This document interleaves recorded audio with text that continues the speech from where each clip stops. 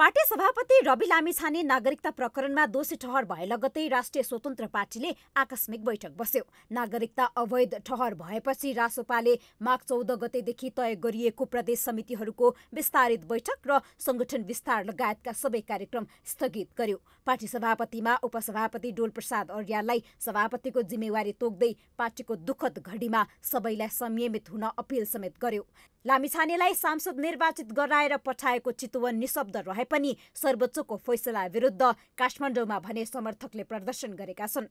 शनिबार रविका समर्थकहरूले काठमाडौँको माइतीघरदेखि नयाँ बानेश्वरसम्म विरोध प्रदर्शन गरेका हुन्।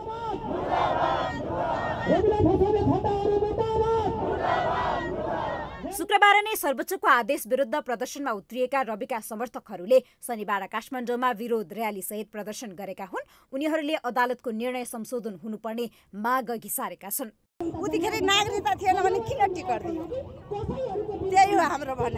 रविले चाहिँ यो अहिले संसदमा आएको रवि संसद पद चाहिँ खारिज हुनु हुँदैन रविको। अरू पनि छन् नि अरू नेता मन्त्रीहरू छन् नि उनीहरूको नि मुद्दा छ। उनीहरूको चाहिँ वर्षौँसम्म फैसला नहुने। रवि दाईको चाहिँ तुरुन्त तुरुन्त फैसला हुनुपर्ने कारण के त? यिनीहरूले त सत्तामा रहेको देख्न चाहेनन्। रवि दाई जब पाइला मात्रै टेकेको थियो के दुई चारवटा राम राम्रो कामहरू गर्न सुरु गरेको थियो? अब यसले त हामीलाई पनि पेल पोल्छ भनेर उनीहरूले सत्ताबाट हटाउनको लागि यति छिटो फैसला गराएर यो खेल खेलिरहेका छन्। रवि लामिछाने स्वयंले अदालतको फैसला स्वीकार गरे पनि आक्रोशित बनेका उनका समर्थकहरू भने सडकमा उत्रिएका हुन्।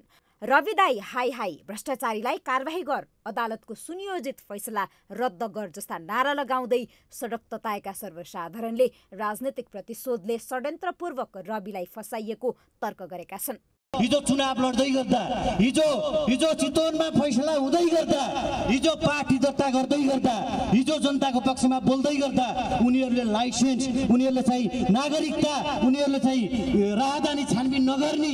आज जब यिनीहरूको सम्पत्ति छानबिन हुने डरमा यिनीहरूलाई कारवाही हुने डरमा। पठाएको थियो। त्यो कानुनी कारवाही गर्न चाहिँ जुन भ्रष्टाचारीहरूलाई कानुनी कारवाही सुरु गर्न सुरु गर्दाखेरिको आज यो दुई दिनको अवस्थामा आज रविलाई सडकमा ल्याइदिएको छ।